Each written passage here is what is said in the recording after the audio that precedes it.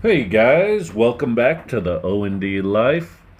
I had some footage that I put together this past winter and uh, you know, I only have a little bit, but I thought, you know what, I did give some uh, updates on my health as well as, you know, some of the things that I've learned doing some chipping here lately. So, I thought I'd go ahead and uh, put a video together with some of that made me some boards here, and then I uh, cleared some underbrush in the front yard and, and chipped it up and talked about my health a little bit and chipping lessons learned.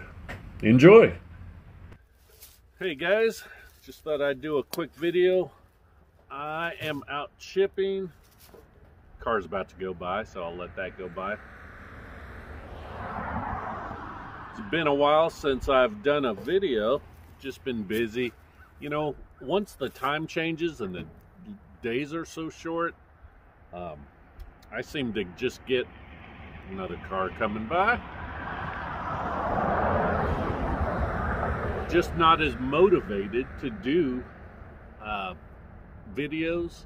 I think I might have some of that uh, seasonal depression. I don't know. Um, but I'm just not uh, motivated. And actually, my my energy level really drops. But some of that might be due to my pituitary tumor and some of the havoc that it has uh, uh, done to my hormone levels, thyroid, um, adrenal glands, and cortisol production, and all that. So I think that's a big part of it also the, these last couple years. But anyways, it's a beautiful day. It's about 50 degrees out here in central Alabama. What is it? Uh, January 23rd, 2021. So I'm out here doing, chipping up some stuff. I was clearing some underbrush under some pine trees in my front yard. Um, they tend to always get grown up. Um, and just got to clear it every year, it seems like. Um, so I, I keep putting down wood chips. It just doesn't tend to be quite enough. So I'm going to have to just go on a real big chipping, uh, chipper palooza and get it all chipped up. I got uh, one of our dogs down a lot lower than normal. Uh, her electronic color is either off or not working anymore. Um, that's Izzy. That's the black Doberman. I don't think you guys have seen much of her. She's kind of a diva and uh, stays inside a lot. But I just saw her streaking by. I was kind of surprised. So let's see here. Um, gosh, what's new? Not, not a whole lot. I'm gonna try and, you know, start getting back into doing some videos. We'll, we'll see. And um, I just thought I'd, I'd say hey, actually, get a little bit of footage doing some chipping. And um, I don't know, this, you know, this spring, I guess it is spring already. Um, I'll, I have got to do some work on my soffits and gutters. Um, prob- so that'll tie up a couple weekends. If I'm lucky, that's it. Um, and then, you know, I still have some other uh, brush to clean up around some trees and stuff. You know, just good old maintenance stuff. So that's about it. This here, still have those puppies. That, that's been taking up a lot of my time. Um, putting them out in the morning, bringing them in at night, cleaning up poop.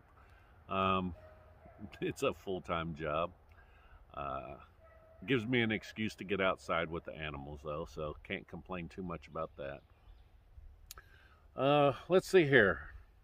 I don't know. I think I think that's about it. Otherwise, same old, same old. Just trying to uh, keep up with with the home, the animals, uh, my wife, my daughter, uh, my own medical problems. So on that front, um, I think the last update I gave you guys, you know, have a pituitary tumor.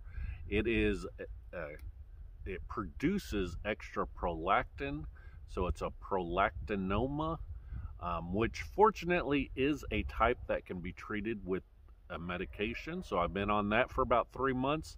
And I just had a follow up MRI and it has shrunk the tumor about 50 to 60%. So that's fantastic news.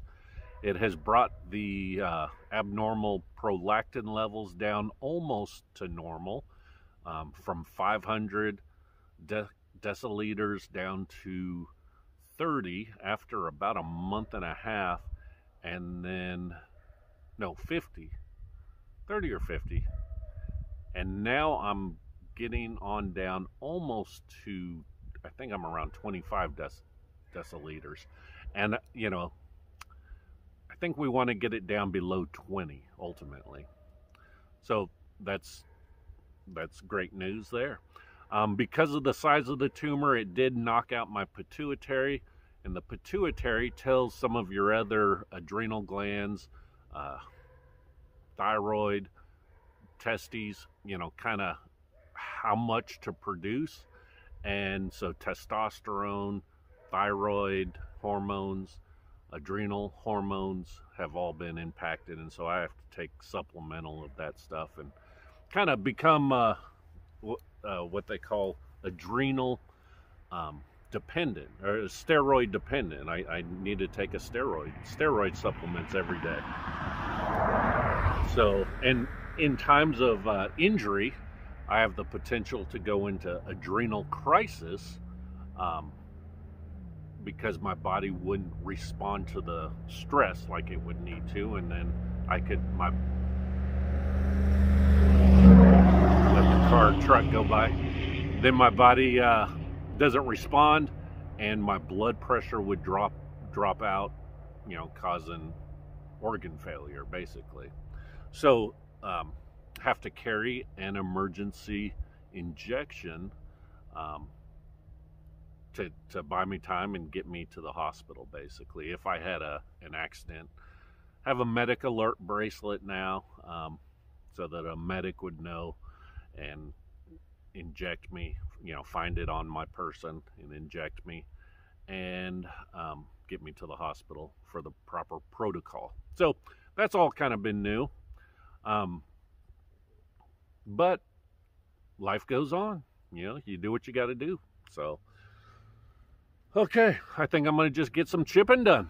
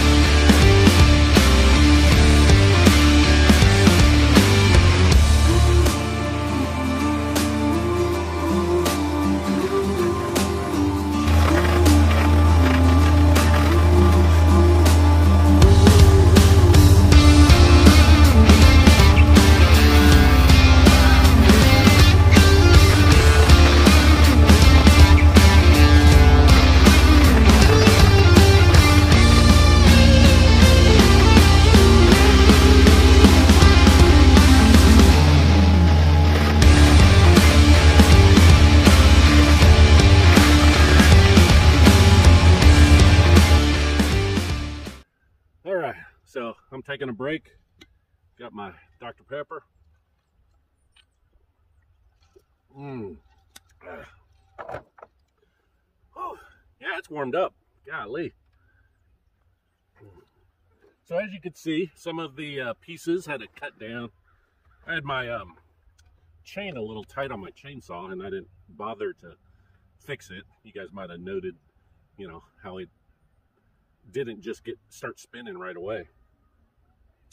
Let's hear what else. Some of the bigger pieces, thicker pieces, larger diameter, I um, like to feed them in and maybe stop it, let that flywheel get back up to speed, and then feed it again. Maybe cut them into smaller pieces so that way gives the flywheel a chance to get back up to speed.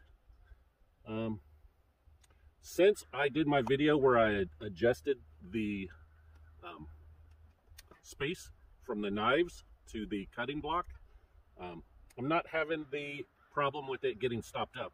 Before, I think I had too big of a space and it was just pulling stuff through um, smaller twigs and then they'd get hung up and blocked. Haven't had that problem, and I've had some small stuff, that privet, that green privet stuff. Um, that's what really clogged it up before when I did it. And so that's not been a problem. Haven't had any clogs today. So that's good. I've just about got this uh, all chipped up from around this tree. I'm to have to go through. There's a little bit of some vines and some smaller stuff that I'm to use the brush cutter and uh, go over. I've got some small stumps sticking up. I'm to be cutting those off. I just cut them off kind of high so I could easily see them and walk around them. Um, but I'll be cutting those off. But I gotta tell you, I'm getting kind of tired. It's actually about time for my medication. Sound like an old man, I tell you. So, anyway, let that car go by. Hope you guys are having a good day. Just thought I'd uh, get a video out, say hey to everybody, give you a little update, and uh, hope to be getting some stuff out again here soon, and um, or at least some some other videos. All right, guys, thanks for watching. O and D out.